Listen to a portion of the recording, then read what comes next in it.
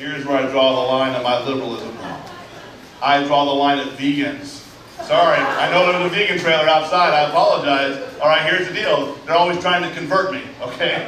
They're like Jehovah Witnesses with tofu. Uh, if there's a Jehovah Witness here, I am not making fun of you. I respect you.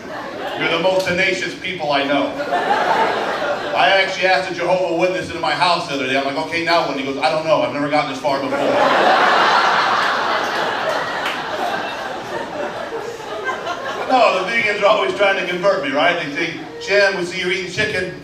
Wish you didn't. We got a chicken substitute. Tastes just like chicken. You'll love it. You won't be able to tell the difference. Bullshit. Look at me. I can tell the difference, all right?